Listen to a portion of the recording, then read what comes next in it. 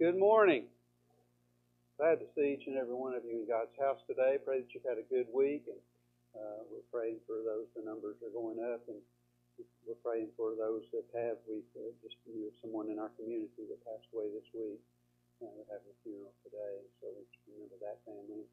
Uh, we'll open up here uh, with just a short prayer, and then we'll have prayer and take requests at the end if we get to our message. When we get into the message, we have a lot of historical background to this message that we have today from Haggai.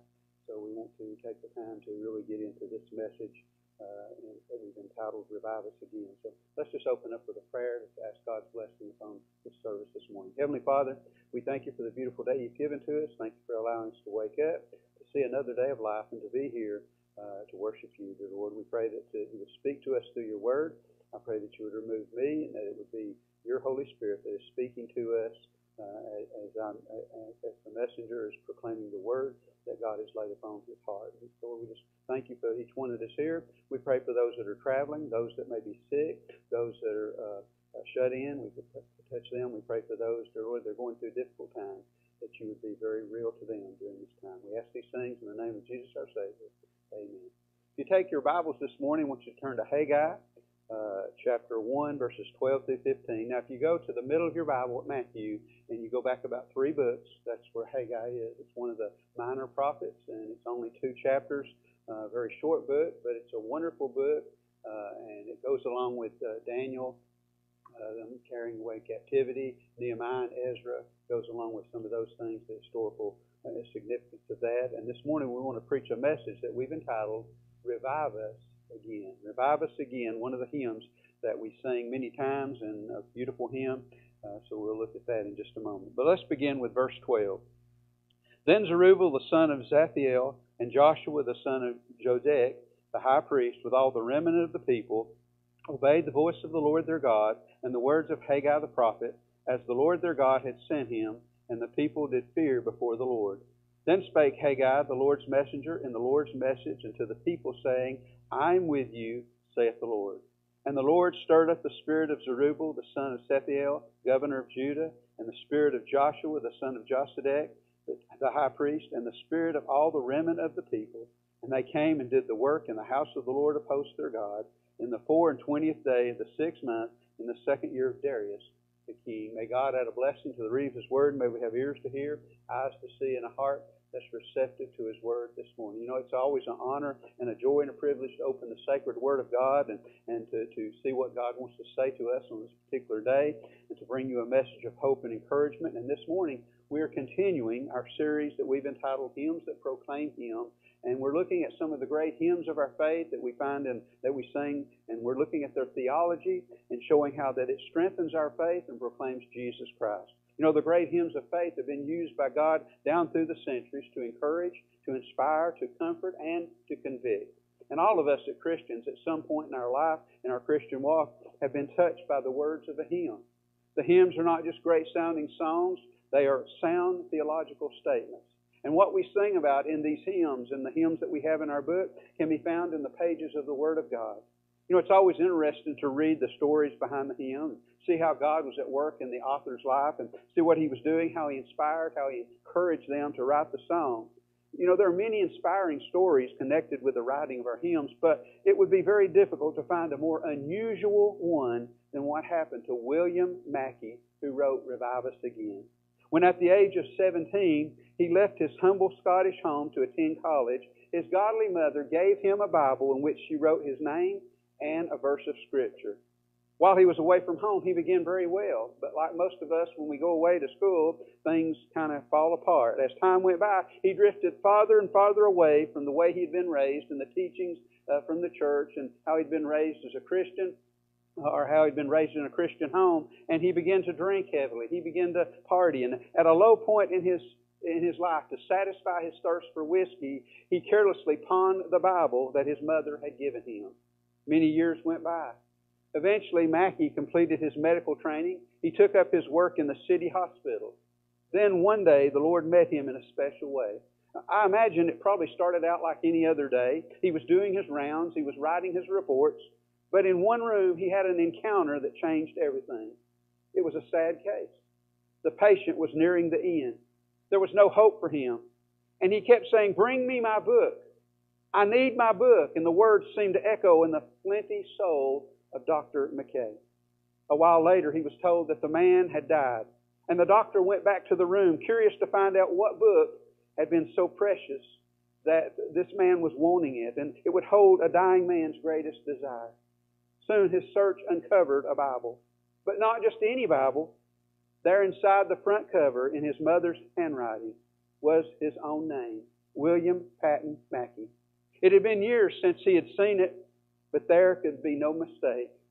Someone had reclaimed the Bible from that pawn shop, and it had become a priceless treasure to a dying man. Mackay went into his office and he closed the door. He opened the Bible and he was slowly turning the worn and weathered pages. Many contained specially marked verses that his mother hoped he would read. He was alone in that room for many hours. And when he emerged, the long night of sin had been blasted away by a life changing experience from heaven.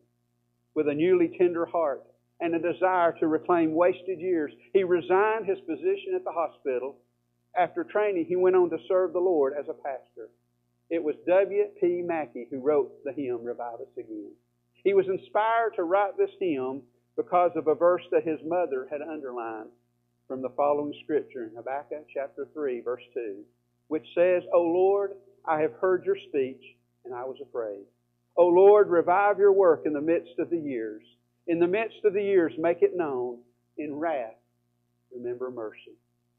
We know the words to the song, Revive Us Again. We praise thee, O God, for the Son of thy love, for Jesus who died and is now gone above. Hallelujah, thine the glory. Hallelujah, amen. Hallelujah, thine the glory. Revive us again. We praise Thee, O God, for Thy Spirit of light, who has shown us our Savior and scattered our night. Hallelujah, Thine the glory. Hallelujah, Amen. Hallelujah, Thine the glory. Revive us again. Revive us again. Fill each heart with Thy love. May each soul be rekindled with fire from above. Hallelujah, Thine the glory. Hallelujah, Amen. Hallelujah, Thine the glory. Revive us again. Revival. The word revival. What Webster's dictionary defines revival as a reviving or being revived, a bringing or coming back into use of something, a new presentation of an earlier play, a restoration to vigor or activity, a meeting led by an evangelist to stir up religious feeling. But what does God say revival is? True revival will come only when we bring our traditions, our preferences, our religions, our righteousness, and our rituals to Jesus Christ and lay them at the foot of the cross. We pray for our nation to turn to God. But the nation will never turn to God unless the church first turns to God. Do we really want revival? Do we even recognize that we need revival? Revival will come when all the sleeping folk will wake up, when all the lukewarm folk will fire up, when all the dishonest folk will confess up, when all the disgruntled folks will sweeten up. When all the discouraged folks will look up. When all the estranged folks will make up. When all the gossipers will shut up. When all the dry bones will wake up. When all the true stand, soldiers of the cross will stand up. And when all the church members pray up, then we will have revival. The church is in need of an old fashioned Holy Ghost revival Haggai challenged the people of God to rebuild the temple of God to experience revival. Revival comes when God's people hear the Word of God, when they heed the Word of God, when they hearken to the Word of God, and when they honor the Word of God.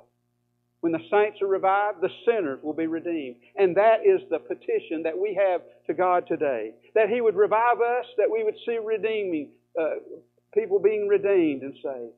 May the Lord revive His work and revive His people. This passage of Scripture reveals some results when revival comes. When revival occurs, we will see these things and we will know we are experiencing revival. First of all, when revival occurs, we will believe the Word of God. In verses 12 and 13, you know, there's there's a, and right now, we have people, even in churches, that don't truly believe that this is the inspired Word of God. They pull it parts of it out. They only say and claim these verses, but others they don't say it's God's Word. Every word from the beginning to the end is God's Word. It is inspired. The Bible says here in verses 12 and 13, Then Zerubbabel, the son of Shealtiel, and Joshua, the son of Jozadak, the high priest, with all the remnant of the people, obeyed the voice of the Lord their God and the words of Haggai the prophet, as the Lord their God had sent him. Then Haggai, the Lord's messenger, spoke the Lord's message to the people, saying, I am with you, says the Lord. Now let's look at the history of this. The Babylonians, led by King Nebuchadnezzar, had destroyed the city of Jerusalem, including Solomon's temple, in 586 BC. And he took most of the Jews captive to Babylon. There, the Israelites could not practice their formal way of worship as the Mosaic law had, had prescribed because they lacked an authorized altar and an authorized temple. In exile for their sin and rebellion, King Darius, ruler of the Persian Empire, had allowed the Jews to return to build the temple. And he did it in three ways. But first of all, there were 50,000 Jews that returned from exile that we find here in Haggai. They built the foundation when they went back, but they, they were facing opposition and they stopped. And for 16 years, they had not rebuilt the temple, but they had been living for themselves. Apathy had set in, and they had not returned to the Lord's work. They had not returned to God. So God sent the prophet Haggai to the people with a word from God. Haggai is the second shortest book in the Old Testament with four short messages delivered in four months.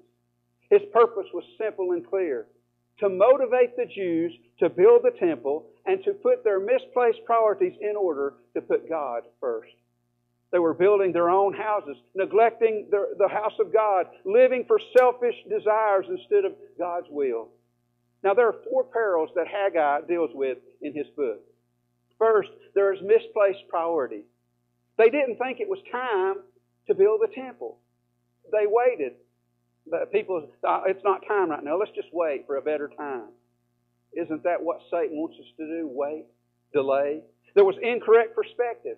They were looking at Solomon's temple, comparing the old people were talking about Solomon's temple, and they said this present temple would be nothing compared to that, so why should we even do it? They were looking at unrealistic expectations. They thought God would bless them just because they started, but God is not going to bless until we finish the task that He has called us to do. There was unnecessary fear. They looked at the Gentiles all around them and the strength of the Gentile nation, and they concluded that they were just too small. They couldn't do it. You remember in Nehemiah, they thought they were too small, but God used every man to do the work. So Haggai was preaching by divine authority, as stated 25 times in 38 verses. He was a successful preacher because the people listened and obeyed his exhortations. Zerubbabel was the governor of Judah who represented the secular leadership. Joshua was the high priest who represented the spiritual leadership. God spoke to both of these individuals, the government leaders and the religious leaders, as well as the people, and they responded to the Word of God delivered by Haggai. They believed the Word of God because his message came from Yahweh of armies. That's what the text says, or it's actually Almighty Yahweh. That title appears 14 times, and the word Yahweh occurs 34 times in 38 verses in Haggai. He wanted their attention to be on God, not on the things of the world. During that time, the emperor of Persia had sovereign sway over the people and the empire. And his word became law, even to the Jewish people, even to the Jewish community. But God is now speaking, and God's word is greater than man's law. Amen? Haggai told them to consider your ways. Now, you look in the first part of that verse, he says, Consider your ways and change your behavior. The king had given them money to rebuild the temple, and they had used it for selfish desires. They were not experiencing God's blessing. They sowed much seed but harvested modest crops. And verse 9 says their grain was so light and small, it blew away like the chaff and just barely met their needs. They had little fiber from which to make clothes, and the clothes were thin and did not keep them warm. Their purses seemed to have holes in them. They didn't have enough money. An affluent, and this is what I want to say to us today an affluent generation of Christians that is wasting God's generous gifts on trivia and toys will have much to answer to God when they stand before Him. When you neglect, neglect obeying God's Word, there will be the loss of blessings from the hand of God. Our obedience results in Him drawing close to us, but our disobedience leads Him to distance Himself, to withdraw His presence from us. So Haggai makes three appeals here in verses 7 and 8. He appeals to the mind. He says, How is it that you think it's not time to build the Lord's house and you're living in your fine homes? Then there's the appeal of the heart. He says, Consider your ways. Then there's the appeal of the will. Go up and rebuild the temple. You see, God is speaking to religious leaders today, but are they listening? God is speaking to government leaders today. Are they listening? God is speaking to Christians in the church. Are we listening? We will never truly experience revival in our lives, in the church, in this country, in our state, in our nation, or in the world until we believe the Word of God and start obeying the Word of God. Verse 12 says, They obeyed the voice of God. The people didn't mock or murmur against God's Word. They didn't resist or refuse His Word. They didn't debate, denounce, or deny God's Word. They didn't defy or despise God's Word. They didn't complain or try to correct God's Word. They didn't fight or forget God's Word. They didn't grumble or grudge God's Word. They didn't hate or huff at God's Word. They didn't pout or puff at God's Word. They didn't rebel or reject God's Word. They didn't withdraw and withstand God's Word. The people obeyed the voice of the Lord. Now, the word obeyed means to hear intelligently and implies a hearing and hearkening to what is heard. Warren Wiersbe in his commentary says, when God speaks to us by His Word, there's only one acceptable response, and that's obedience. We don't weigh the options, we don't examine the alternatives, and we don't negotiate the terms. We simply do what God tells us to do and leave the rest with Him. Genuine belief always results in genuine obedience when a man of God preaches the Word of God by the power of the Spirit of God, we have a responsibility to listen and to obey. The people obeyed the voice of the Lord because they heard the voice of the Lord. Because verse 12 says, The Lord was their God. We will never obey the voice of the Lord if Jesus is not Lord and we are not under the authority of the preaching of His Word. There are far too many Christians who are not under the authority of God's Word. They're not hearing God's Word. They're not letting the Holy Spirit speak to them in, in the, the, the church city. They need to be under the authority of the preaching of God's Word. Jesus said in Luke 6:46, "Why do you call me Lord, Lord, and not do the things which I say?" God sends a revival to His people based on the response to His Word.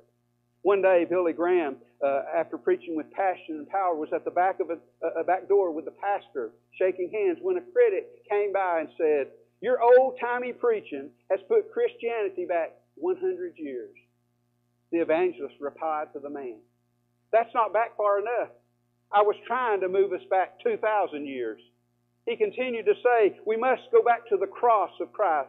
We must go back to the faith which was once delivered to the saints and the fire and the passion of the early church. That's where we need to go today. Back to Calvary, back to the empty tomb, back to the resurrected Jesus, back to an infant church who loved God and was not ashamed of Jesus and had the power of revival in their midst.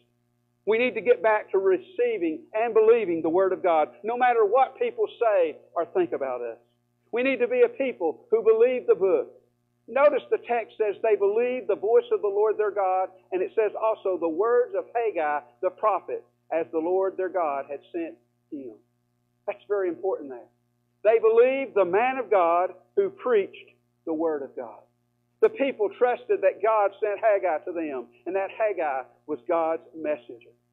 God will not send revival until the people of God believe the word of God from the man of God that he has placed in their midst.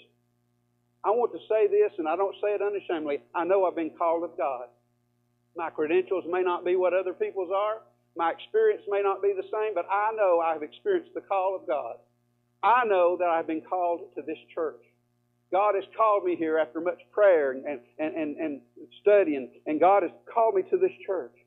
And even though some may find things they dislike about me as a pastor or a person and my personality, you must hear God's Word presented from God's messenger, no matter who it is. A pastor had just taken a new church, and he was highly complimented on his first sermon in that church. A number of people told him it was just what the church needed at that time in the congregation. The next Sunday, he preached a good message again, but it was the same uh, it was the same message as the week before. They were greatly puzzled that he preached the same sermon. On the third Sunday, when the same sermon was preached again, the congregation waited on the pastor after the service to explain himself. The pastor replied, Why, yes, it is the same sermon. You told me the first Sunday it was just what you needed. And I watched all week for some changes in your lives, but there was none. So I preached it again. I waited all the next week, but still no changes. And I don't see any yet in your lives. Don't you think that I'd better prepare to preach that same sermon again until you get ready to listen and make changes in your life? You see, Haggai didn't have that problem. The people believed the man of God and they responded to the word of God, for the Lord their God had sent him. They believed that God had sent Haggai their way. This is the first step to hearing from God. Do you believe that the pastor that you have called is called of God and is called to bring the message that God wants you to hear? The people believed that Haggai was a man of God, proclaiming to them what God wanted them to hear and what God wanted to say to them.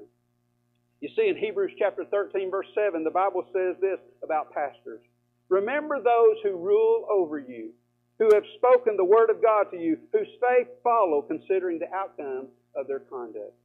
It goes on to say in verse 17 Obey those who rule over you and be submissive, for they watch out for your souls as those who must give an account. Let them do with joy and not with grief, for that would be unprofitable to you. God has sent this church men of God in the past. Some have left here. Some have been called off. Some, some have left on their own. Some the church may have run off. I don't know every situation, and, and many of you do. But revival will not take place in our hearts, in our church, or in our community until the church gets right with Jesus. The bottom line is are we believing the Word of God? Will we believe the Word of God? A visiting lady uh, whispered to her friends, the pastor closed his Bible. Is the sermon done? Her friend said, No. The preacher is finished, but the sermon has to be lived out in our lives. It must be obeyed. It's not done until you begin to obey and live it out. Verse 13 says, Haggai, the Lord's messenger, spoke the Lord's message to the people, saying, I am with you, says the Lord. God told the people to build the temple, and God told the people that He would be with them. That's enough for you to carry on. They had no excuses to do what God called them to do. We have no excuse not to obey, to believe the Word of God and obey the voice of God, no matter what He tells us to do. Here's a great truth you need to remember. We believe as much as the Bible as we live. We believe as much of the Bible as we live. In verse 13, God said He would be with them, and God has said to us, He will be with us. Do you believe that God is with us? He is Emmanuel. He is with us. We do not need to ask God to revive us if we're not willing to believe the Word of God. When revival comes, we will believe the Word of God. But secondly, when revival comes, we will behold the worth of God. And the people feared the presence of the Lord. When true revival comes, we will believe the Word of God and we will also behold the worth of God. We will give Him the proper honor and respect that He deserves the people feared in the presence of God. The word fear means to be afraid, to stand in awe or fear. Godly fear means that we do not run away from God, but we run toward God. To have a godly fear means that we draw near to Him. We honor His name, we honor His house, we honor His word, and we have reverence for Him. Do people in the church really honor Him and reverence Him? Do people outside the church honor and reverence the things of God today. To fear God means to forsake evil, and based upon that, I don't think we are honoring God. Proverbs 9:10 declares the fear of the Lord is the beginning of wisdom, and the knowledge of the Holy One understanding. A commentator wrote this. These people had a new and an awe and reverence for God, and they pondered the significance of their past disobedience and their past self-centeredness, and their new sense of obedience and divine priorities. We need a new sense of obedience on divine priorities. The proper fear of the Lord always leads to obedience. The people of Israel beheld His worth. They realized that God was worthy of their best and worthy of their obedience. They realized that God was holy and above reproach, that He is an awesome God. And only when a people will fear before the Lord will revival come. In Isaiah 6, Isaiah saw the Lord high and lifted up. He trembled at the presence of the Lord, and he pronounced a woe on himself. God cleansed Isaiah of his sin and called for obedience. Isaiah, Isaiah said he would go, go for the Lord. Now, why would he say that? Because Isaiah beheld the worth of God. He feared in the presence of God, and he responded to the call of God. In Joshua chapter 5, Joshua met the Lord Jesus and responded the same way. Joshua fell on his face to the earth and worshiped and said to him, What does my Lord say to his servant? Then the commander of the Lord's army said to Joshua, Take your sandals off your foot, for the place where you stand is holy. And Joshua did so. You see, the remnant that returned from the Babylonian captivity finally feared the Lord. Their godly fear is shown in their prompt obedience. Do we fear the presence of the Lord today? in America, has the church lost the fear of God? Do we recognize that God is worth our pursuing and He is worth obeying with all of our heart? True revival only will come when we believe the Word of God and we behold the worth of God. Proverbs 1 verse 7 says, The fear of the Lord is the beginning of knowledge, but fools despise wisdom and instruction. When revival comes, we will believe the Word of God and we will behold the worth of God. But thirdly, we will begin the work of God.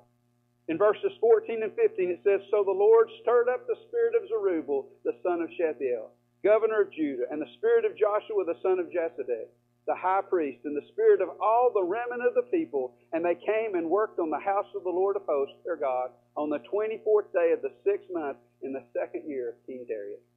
The Bible teaches us that the Lord does the saving. The Lord does the sanctifying and the Lord does the stirring.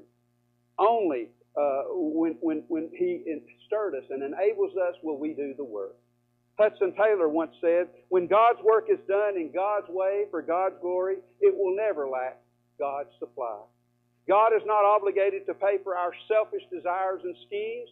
He is obligated to support His ministry. Now in verse 14 it says, The Lord stirred their spirit.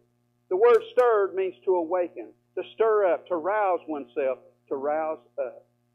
God woke the people up. God shook the people up. God stirred the people up. God aroused the people. God needs to wake us up today. He needs to stir us. You know, God needs to wake us up because where He is, is there is life. There is not deadness. Verse 14 says that God stirred up all the remnant of the people. One author said this There was not one idle person among them. Every person was engaged at something in connection with the building. Not one required to be coerced in any way, dragged forth against his own will. You see, that's what we need in our churches today. And when there's true revival, that's what will happen. People will be accepting positions instead of giving up positions. They will be working for the Lord instead of saying, I don't have time. But you know, some churches, here's the way they function. We, the unwilling, led by the unknowing, and doing the impossible for the ungrateful. We have done so much for so long with so little that we are now qualified to do anything with nothing. The people believed the Word of God. They beheld the worth of God, and they began the work of God. We cannot believe the Word of God or behold the worth of God and not do the work of God. It had been 16 years since the people returned from exile. They were busy, but they were barren. They were doing their own thing and not doing God's thing. The people were concerned about their own will and not God's will. The people were building their own kingdom and didn't worry about God's kingdom. They were building their fine, fancy houses that they were working hard to pay for, but God's house was laying in ruins. God's house represented a place of God's presence, the place of worship, the place of sacrifice, the place of prayer, the place of fellowship, joy, and peace. If we want to experience those things, we must honor God's house. We must honor God. The people were more concerned about doing what they wanted to do than what God wanted them to do. Does that sound like America today? When Haggai preached, the people were convicted of their sins and they responded to the word in obedience. Haggai aroused their conscience and they repented of their sins. The people responded to the word and they obeyed God. Verse 14 says, They came and worked on the house of the Lord their host, Lord of hosts their God. When revival comes, there will always be a change in priorities, a change in passion, and a change in purpose. The people of God had a new priority, and they all came to begin the work of the Lord. Some of us have been challenged by the Lord to work for Him, to begin the work of God, and I pray that we respond. The Cathedral Quartet had a song called Step into the Water, and one of the verses said, It's time we the people stood up for what is right. It's time we squared our soldiers back and raised our swords to fight. For the Bible is our weapon and the Spirit is our shield. The church needs more of its members to be workers in the field. We need to be workers in the field. We need to hear from God. You know, when, when uh, one of the people in the church had said something to me as far as uh, hearing the Word of God and for the preacher, they said, We prayed for so long to have someone who would preach God's Word to us. And we're thankful that you do that every time that you preach. And so we're preaching God's Word to you, and we pray that you would hear it as God's Word. You know, someone wrote this poem about people in the church, or a person in the church. I've been a dead weight many years around the church's neck. I've let the others carry me and always pay the check. I've had my name upon the roll for years and years gone by. I've criticized and grumbled too. Nothing could satisfy. I've been a dead weight long enough upon the church's back. Beginning now, I'm going to take a wholly different track. I'm going to pray and pay and work and carry my load instead, and not have others carry me like people carry the dead. The people in Haggai's day were physically to build the temple. Now, we're not to physically build a temple today, but we're to spiritually build the temple that God has placed us to be. We are His temple. 1 Corinthians 6.19 says, Or do you not know that your body is the temple of the Holy Spirit which is in you, whom you have from God, and you are not your own? We are to constantly building our temple, reviving our temple by Bible study, by prayer, by attending church, by obeying the Word of God and spending time with Jesus. We build God's temple by submitting to the Father. We build God's kingdom by sharing our faith. God has chosen to build His kingdom through His Word being spread by us, His children. The church has a responsibility to share the gospel. We can never be more like that New Testament church in Acts when, when, unless we are consistently and courageously sharing our faith. We must begin to tell others about Jesus. When we are witnessing, then we leave a mark that we have truly experienced revival. When we are witnessing, we don't have time to criticize and grumble uh, about the church.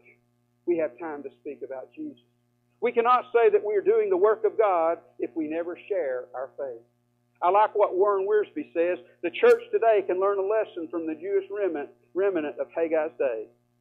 Too often we make excuses when we ought to be making confession and obeying the Lord. If the Lord is to be pleased with us and glorified before an unbelieving world, we must hear the word believe the word, and act upon it no matter what the circumstances may be. And I say amen today. May God help us to begin the work of God. We need to be working uh, in the field. Uh, the people uh, were, were doing this in, in, in Haggai's day. He said, I would never leave you nor forsake you. They were compelled to go forth. God has told us He would never leave us nor forsake us. And that fact ought to free us to go and tell others about Jesus Christ. When we have a proper fear of the Lord, we will begin the work of God in spite of all the opposition that Satan sends our way. The question I ask, would you accept the call of God today to begin to witness for Jesus? Would you accept the call to do the work of God by serving in His church? You know, I heard a story uh, about a church which had four members. They had got down to four members. There was everybody, somebody, anybody, and nobody. The church had a financial responsibility, and everybody was asked to help. Everybody was sure that somebody would do it. Anybody could have done it, but you know who did it? Nobody. It ended up that everybody blamed somebody when nobody did what anybody could have done. Lost people lived in the community that needed to be visited and witnessed to, and somebody was asked to help. Somebody got angry about something, and, and they got angry because anybody could have done it. And after all, it was really everybody's job. And in the end, the witnessing and the visiting was given to nobody. And nobody did a fine job. On and on this went for years. Whenever work was to be done, nobody could uh, always be counted on. Nobody visited the sick. Nobody gave liberally. Nobody shared their faith. In short, nobody was a very faithful member to the church. Finally, the day came when somebody left the church, and he took anybody and everybody with him. Guess who was left? Nobody. That's what will happen to a church until we get revival in our hearts. God is willing to send revival to His church, but we must be first willing to receive Him. We must receive His Word. When revival comes, we will believe the Word of God, we will behold the worth of God, and we will begin the work of God. May God add a blessing to the reading of His Word. And at this time, we're closing out the service, and if you have a decision to make, then you uh, can meet with me afterwards or, or, or talk to me afterwards. But at this time, we're going to have a prayer time, and we want to ask if anybody